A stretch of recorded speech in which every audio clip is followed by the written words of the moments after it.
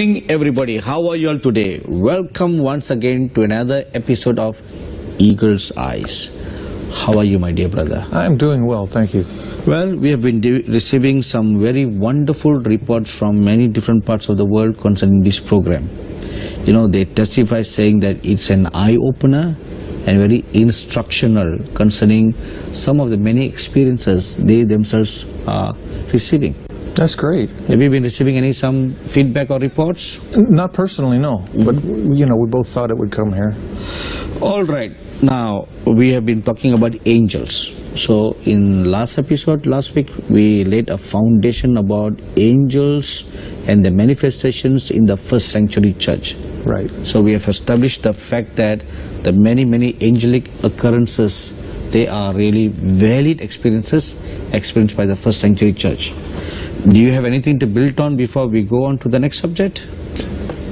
No, uh, just my understanding of that as we progress is, uh, and what God's put on my heart, that was the beginning of the church.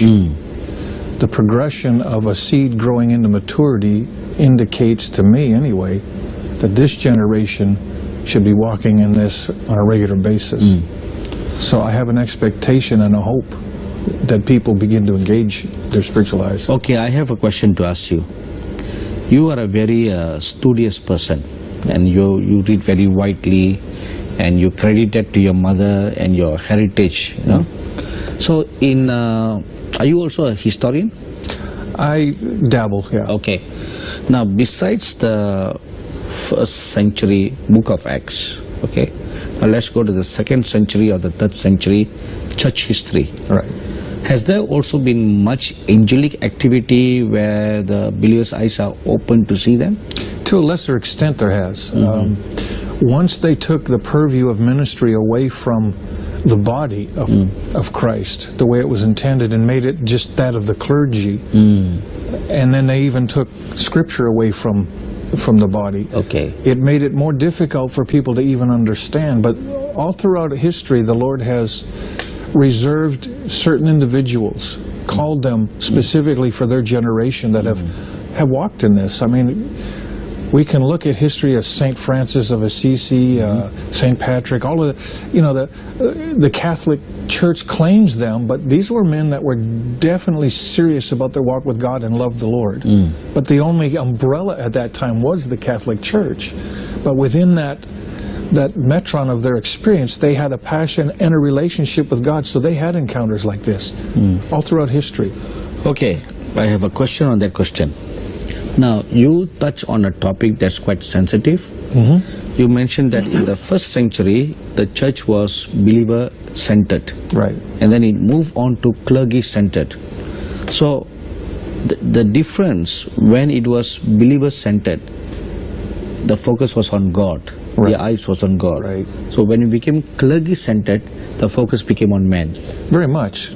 They made it that the only mediator between man and God was the the clergy, mm-hmm. which is a distortion of Scripture because we know Jesus is the mediator, mm. and so that was a form of control. So that's um, where the Nicolaitans doctrine all came in. Absolutely. During that period of Yeah. time. Okay. So when the believer was God centric, they were very open to all the things of God. So when it became clergy centered, they were no more open to the things of God.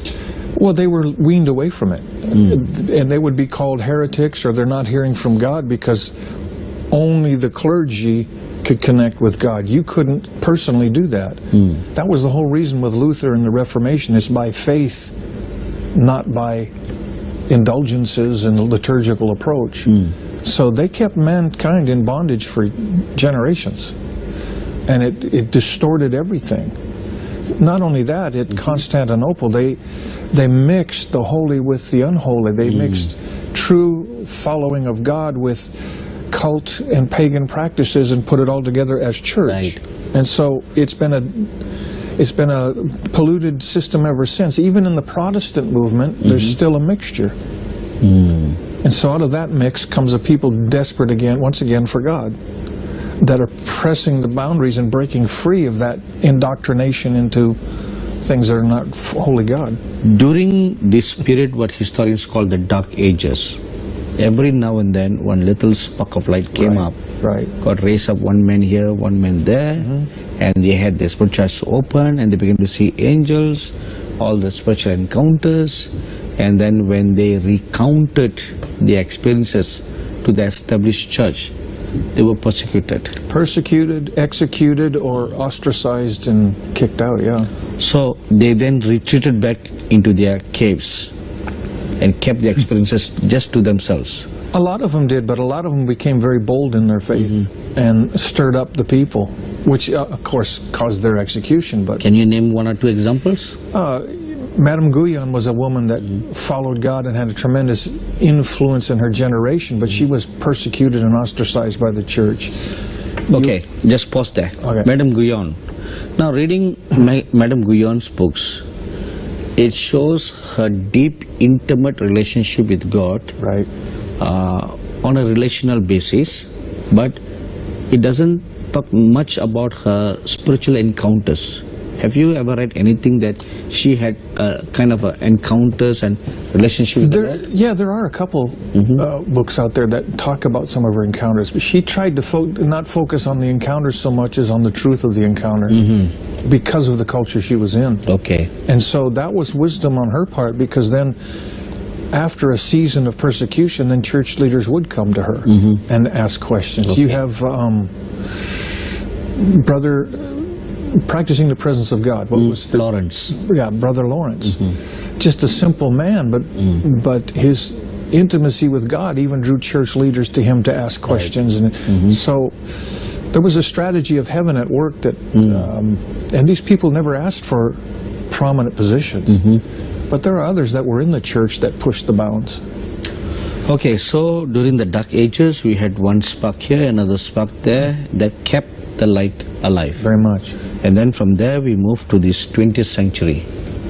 In the 20th century, when the Holy Ghost was poured once again on Azusa Street, and even before Azusa Street was just one spark here, one spark there, but then it came on a larger scale. Very much. You had out of Azusa Street, you had uh, Assemblies of God was birthed, the Foursquare Church was birthed.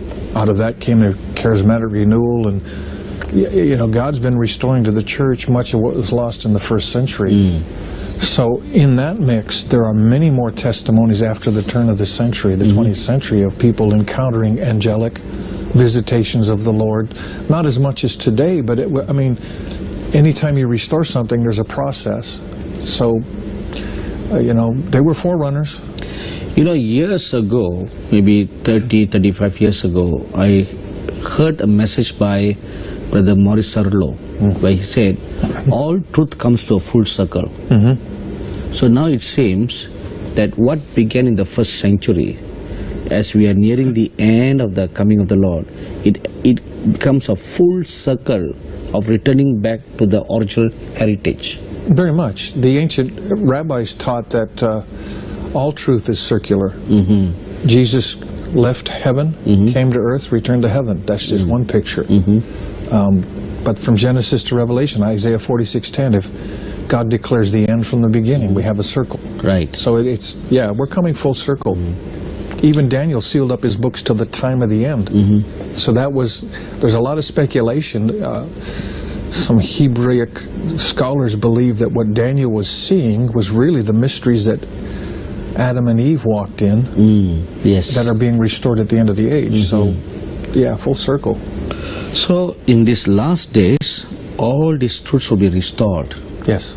Where that's when in Revelation 10 it says, the fullness of the mystery of God will be completed. Yes. The revelation or even the reclamation. Well, the one particular man of God that I know, you know, to him, uh, God had revealed that even like what you just touched, I was quite surprised when you mentioned that even secrets were revealed to Ab- uh, Adam, hmm. and they had all written in scrolls, kept hidden mm-hmm. in the earth, like in caves, like how the Dead Sea Scrolls were discovered in. Yeah. Even there are records that Jeremiah's scrolls were kept hidden. And they have been scattered all over the Mesopotamia region, you know, mm-hmm. scrolls here and there. And just like when the time came for the discovery of the Dead Sea Scrolls, all these other scrolls containing deep revelations will be rediscovered before the end. I bear witness with that. I I can see that. Why? Or how? I don't know. We, we talked, you know, in our time. Perception, Perception. okay. I just there. Uh-huh. There's so much that God wishes to reveal to this generation, Hmm. and there's going to be a contending. I mean, there are uh, people that say God only does with, within the boundaries of this Mm-hmm. book. That's true because it'll bear witness with the book, but uh, I keep thinking of John talking about Jesus. If everything he both began to teach and do were written, the world couldn't contain the volumes. I think we're going to find out a lot more about what he did that was not written in the volumes. So that would be part of that. But I, I, I bear witness with that. You know, for long I had this thought in my mind that whatever is written in the Bible, the 66 books, is particularly enough for our salvation. And anything beyond is not written here uh, because they are not necessary for our salvation. But lately, uh, when I said lately, not just very lately, but uh, for about a year or two, I've had some wonderful spiritual experiences in the spirit realm. And then later on, the Lord had shown me that they are all scripture based. So when they were all scripture based, and then when He pointed out those scriptures to me, when I look at the scriptures, off the surface, it does not specifically talk about that subject. Right. But when you look deep into the scripture, now with the veil lifted off our eyes by the spirit of illumination, then see, it's there all this while. So then I had to rechange my understanding that everything about everything is all written here. Some in coded language. Very much. You agree? Oh, I, I've thought that for years. Um, I, I think we shared this one of our previous programs, but I had a group of 30 students mm-hmm. and in a school of ministry for missions. Mm-hmm. And I gave them an assignment and I said, nobody, you cannot share the assignment with anybody or you fail. You can't talk about it. You have to do it on your own. Mm-hmm. So I gave them all a single scripture and they had to teach 15 minutes on it. Mm. What I didn't tell them was they all got the same scripture. Oh, And came the day to start sharing, there were 30 different revelations from the mm-hmm. same word. That alone ought to, t- and that was surface. Mm-hmm. Never mind the revelation that God can release at the end of the age, because l- much of this is dark speech or dark sayings or mm-hmm. hidden until an appointed time. Mm. So that, and, and my former uh, work in cryptology and those things. I, there's so many layers of revelation in here. I believe the full counsel of God will be discovered. I just don't think we're at the point where we can do it, and that's the problem so many people have. If it doesn't filter through their intellect, it can't be God. But this is spiritually discerned, not intellectually. You know, while you're talking, I feel, uh, I, I won't say revelation, just an unlocking in my mind, the words in the prophecy of Daniel, hmm. where Daniel was shown visions and then he was told, seal them up. So if they are all sealed in the book of Daniel, so when the time comes for the seals to be open, hmm. so within the visions and the prophecies of Daniel, we are going to get more revelations or more understanding of even things to come or things in heaven. Agree? Oh, very much. Comment? I think we're going to have it unlocked to the point that we're going to walk eh, as the new creature that the New Testament says we are. Mm-hmm. Old things are passed away. We haven't seen all things in ourselves become new Right. because we're wading through an, the, the, the quagmire of the soulish realm, mm-hmm. trying to grasp the reality of a spirit realm. Mm-hmm. And 99% of all Christians live based out of their soul or their flesh and not their spirit. Mm. I think part of what's going to be revealed is how to walk as who we truly are in this world. And, and that'll shift everything too. As well as what you're saying, the powers of the age to come, the new mm-hmm. heaven, the, all these things. Okay, while we are on this topic, a question for you. Now, in Revelation chapter 10, the Apostle John saw seven thunders. And not only he saw the thunders and the lightning striking down, but he heard Now we hear sound of rolling thunders, uh-huh. but he not only heard the sound of a rolling thunder or the rumblings of the thunder, but he heard the thunders speaking. The voice. He heard a voice, uh-huh. and they communicated a message, or they were uttering something. Hmm. And as he was about to write, the angel that appeared to him told him, "Seal them up, don't write." Right. So, with the word he heard, just the one word heard, mm-hmm. if the spirit of wisdom and revelation comes to you and unlocks the seal in the word heard, then you will be able to hear the sound of the thunders. Mm-hmm. Agreed? Mm-hmm. So when you hear, then not only you will hear the sound of the thunder speaking to you or the voice speaking to you, mm-hmm. but it can continually speak to you. Yeah, because you have a new level of spiritual perception and ability to hear what the Spirit is saying. E- mm-hmm. Enoch talks about the same type thing in the book of mm-hmm. Enoch. Mm-hmm. He understood the, the voice of the four winds. He understood the voice of the stars. He under he understood the voice of creation. Mm. And uh, mankind has lost that because, and they say "Oh, that's mystical. Well, you know, Native Americans for years have been able to, oh, they call them wind talkers, or mm-hmm. different, they, they, talk to nature. And of course, when Christianity came, the religion, mm. they were told that's of the devil. But God is beginning to restore some of those truths, and they're walking in the freedom they had under the blood. Now it's, mm-hmm. it's the transition into the reality of the kingdom, but that's a resource that this generation needs to pay heed to because we're only half of all, uh, we're not even half. We're, we're missing so much of the whole because of our limited, finite religious mindset. And it's in Scripture. I think at this juncture, you need to uh, share with us the one ex- experience you mentioned during the Lancaster conference in August 2016, where a woman of the native Indian used to hear nature talking to her. Can you please explain that? Yeah, I was ministering in a small town in Pennsylvania, Hershey, Pennsylvania. Mm-hmm. And uh, this young lady had come to the meeting and wanted prayer afterwards. She's a native Indian? She, at first, I thought she was from south of the border, mm-hmm. Hispanic, but she said, "No, I'm a Native American." Okay. I said, "Oh, that's where are you from? Right around here." Mm-hmm. And as she was talking, the Lord showed me she had a gift from God that she could actually hear nature speak, specifically the wind, mm-hmm. and it would tell her things. People were coming. This was happening, mm-hmm. and so I mentioned that to her, and she got her eyes were this big. She was frightened because, mm-hmm. oh no, now he's going to say I'm of the devil. And I said, No, that's a gift of God. And I began to encourage her in it and pray for her. She began to weep Oh, because religion had said that was not God, it was of the devil.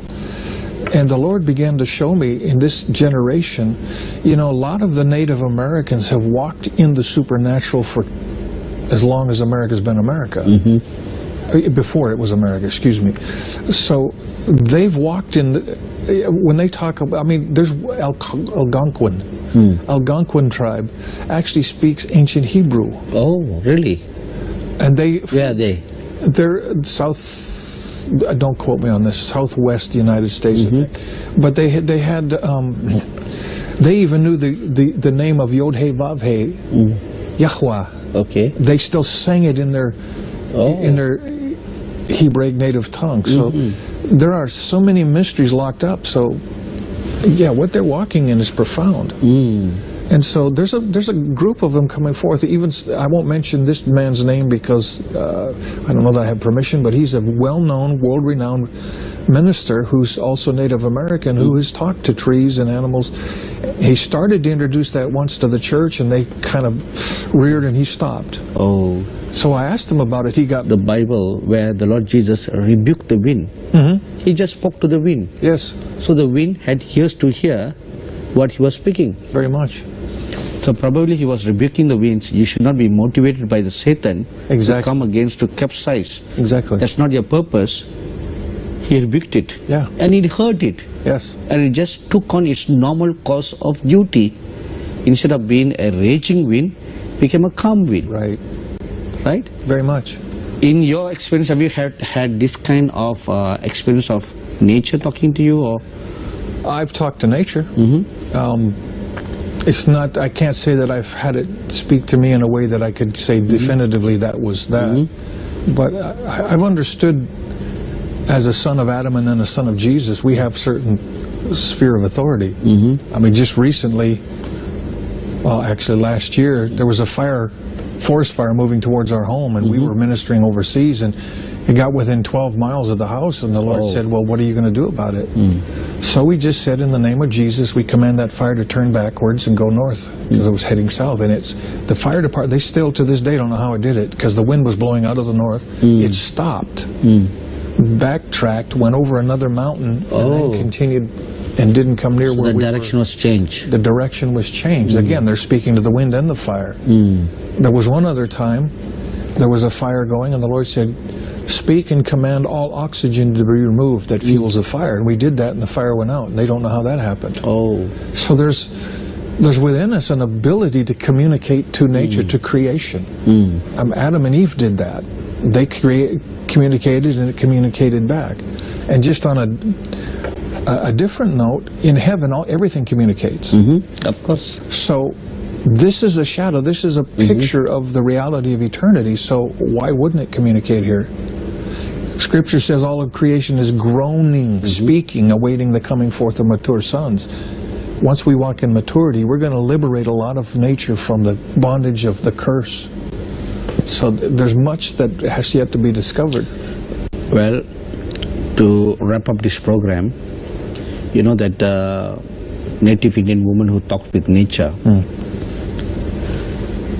The book of Genesis tells us that Adam communicated with the animals. Very much. When he named them one by one, he communicated with him. And I have read a book by um, a mystic saint in the 12th century or 14th century. I, I can't remember the exact time now. This woman was shown a panorama visions for many, many days, if not months, of the whole book of the Bible. You know? And she saw the events in the Garden of Eden. She said that before Adam sinned, the period from creation to that sinning was a period of seven years. That's when they were in the garden and all that, you know.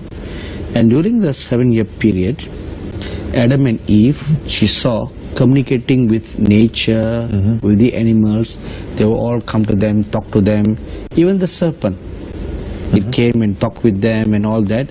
So that was why when she gone astray and came near the tree of good and evil, when the serpent came to talk to her, she did not feel ajat. Right. She was just comfortable because she has been hearing that all the while. It was not like something new to her. Right. If it was something new to her, she would have run away. That makes sense. So the devil got into the serpent and spoke with her using that medium. Hmm. And she was still very comfortable and she responded back because she had been communicating all the while. Hmm. So it was not something new to her. Yeah, that makes sense. Make sense? Yeah. So now, if we are going to go back to the full power of Adam, then this will also be a full circle of mm-hmm. communicating, mm-hmm. and which will all become back in harmony. Also, what the Bible says, in the new heaven and the new earth, will be in one with nature. So, Dr. Bruce, that brings this episode to a close. What do you like to? You like to hang out, or you want to go back to your home? I think it's a good time for a coffee Ah, or Indian tea. okay, okay. Since you're in an Indian home, we should have Indian tea. Yeah. All right. My dear brothers and sisters, we hope you are blessed by this program and little eye opening to you. If you have some questions or some opinions or some feedback you'd like to share, you can write to us to the email ID that you see on your screen. We'll meet you next week. God bless you. Our address Eagles Eye Jesus Ministries Villivakkam Chennai 600049 Tamil Nadu India Phone number 9144 4050 0000